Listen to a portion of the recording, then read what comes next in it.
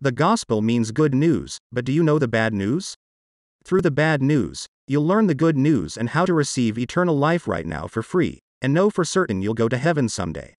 Why did Jesus die? This question is of vital importance because your eternal destiny depends upon your answer to it. Do you know why Jesus died? If not, I believe God has sent me across your path to tell you. The bad news is sin brings death. In God's Word, the Bible, the only prophetic book on earth, we learn that death came into the world because of sin. Wherefore by one man sin entered into the world, and death by sin. And so death passed upon all men, for that all have sinned. Romans chapter 5 verse 12. The wages of sin is death. Romans chapter 6 verse 23. You and I die because we are sinners, we have forfeited our right to live on the earth. All have sinned, and come short of the glory of God. Romans chapter 3 verse 23. Jesus died for us, as our sin bearer. Did Jesus die because he had sinned? No. Listen to the inspired word. In him is no sin. 1 John chapter 3 verse 5. Who did no sin. 1 Peter chapter 2 verse 22. Who knew no sin. 2 Corinthians chapter 5 verse 21. Therefore, death had no claim upon him. But, blessed be his name, he gave himself for our sins. Galatians chapter 1 verse 4. Yet it pleased the Lord to bruise him. He hath put him to grief. When thou shalt make his soul an offering for sin, he shall see his seed, he shall prolong his days, and the pleasure of the Lord shall prosper in his hand. Isaiah chapter 53 verse 10. It was God's righteous love for you and me that caused the Lord Jesus Christ to come down from heaven and die on Calvary's cross. It was love that held him on that shameful cross until he had finished the work of atonement to the glory of God the Father. A holy, righteous, just God cannot let sin go unpunished. On the cross, the Lord Jesus bore God's judgment against sin in our stead, as our substitute. And now God is offering not only forgiveness, but also justification to the repentant sinner who believes in Jesus. He is just, and the justifier of him which believeth in Jesus. Romans chapter 3 verse 26. God showed his approval of that mighty work by raising the Lord Jesus from among the dead and seating him at his own right hand in heaven. Romans chapter 8 verses 34 to 39. Jesus is the only way. There is no other way a sinner can be saved but through the atoning death of the Lord Jesus. I am the way, the truth, and the life. No man cometh unto the Father, but by me. John chapter 14 verse 6. Neither is there salvation in any other. For there is none other name under heaven given among men, whereby we must be saved. Acts chapter 4 verse 12. Why did Jesus die? Have you now realized that it was your sins that caused him to die upon the cross? Have you felt your need of Him as your personal Savior? As you read this little message, He looks down from heaven upon you, and He reads the thoughts and intents of your heart.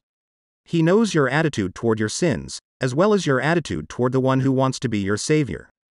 Turn to Him today. Even if you are a stranger to Him, God knows all about you, even things hidden. There is a penalty for our sins death and hell. Hell is a literal, horrible place of fire, suffering, and misery. Read what the Holy Bible warns everyone. As it is written, there is none righteous, no, not one. Romans chapter 3 verse 10. In flaming fire taking vengeance on them that know not God, and that obey not the gospel of our Lord Jesus Christ, who shall be punished with everlasting destruction from the presence of the Lord, and from the glory of his power. 2 Thessalonians chapter 1 verses 8 to 9. But the good news is that Jesus paid a debt that he did not owe, because we owed a debt of sin that we couldn't pay. We are saved by believing the gospel. 1 Corinthians chapter 15 verses 1 to 6 tells us what that is. Moreover, brethren, I declare unto you the gospel which I preached unto you, which also ye have received, and wherein ye stand, by which also ye are saved, if ye keep in memory what I preached unto you, unless ye have believed in vain. For I delivered unto you first of all that which I also received how that Christ died for our sins according to the Scriptures. And that he was buried, and that he rose again the third day according to the Scriptures, and that he was seen of Cephas, then of the twelve. After that, he was seen of above five hundred brethren at once, of whom the greater part remain unto this present, but some are fallen asleep. For I am not ashamed of the gospel of Christ. For it is the power of God unto salvation to every one that believeth, to the Jew first, and also to the Greek. Romans chapter 1 verse 16. That's the gospel, my friend. And without controversy, great is the mystery of godliness. God was manifest in the flesh, justified in the Spirit, seen of angels, preached unto the Gentiles, believed on in the world, received up into glory. 1 Timothy chapter 3 verse 16. You get born again by believing the gospel. Satan's greatest weapon is to con people into living the Christian life without ever being born again. The Lord himself said everyone must be born anew by the Holy Spirit of God. John chapter 3 verse 3. Jesus answered and said unto him, Verily, verily, I say unto thee, except a man be born again, he cannot see the kingdom of God. Salvation is personally believing Christ Jesus finished work for us on the cross as full payment for our sins. Whom God hath set forth to be a propitiation through faith in his blood, to declare his righteousness for the remission of sins that are past, through the forbearance of God. Romans chapter 3 verse 25. O God, I know I am a sinner. I believe Jesus was my substitute, how he died on the cross for my sins. His shed blood, death, burial, and resurrection on third day were for me. I receive him now as my only Savior. Thank you, Lord Jesus. Not Buddha, not Muhammad, not the Pope, not Mary, not the Mass, or anything else can save you. Only Christ has the required credentials. The fulfillment of scores of specific prophecies. Through the life, death, and resurrection of Jesus of Nazareth should be absolute proof that he is the true and only Savior. Mathematicians put it this way one person fulfilling eight prophecies. One in 100 quadrillion.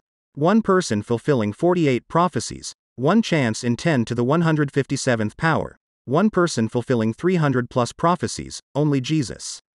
The Bible makes that solemn fact abundantly clear. To reject, add to, take from, or otherwise pervert or embrace a substitute for the gospel of God is to perpetuate the rebellion begun by Adam and Eve and to leave one eternally separated from God and his proffered salvation in everlasting fire. No wonder Paul wrote, Knowing therefore the terror of the Lord, we persuade men. 2 Corinthians chapter 5 verse 11. So must we, too, persuade men through the gospel. This means on the day of judgment, man has no excuse Romans chapter 1 verse 20, Romans chapter 3 verse 19 to know that God exists, and no excuse to be ignorant about his fallen state or how to be saved.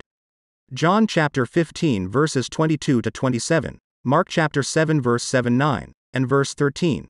1 John chapter 5 verse 13. The blood of Jesus saves sinners. His death, burial, resurrection third day. Have you put your faith on Jesus alone?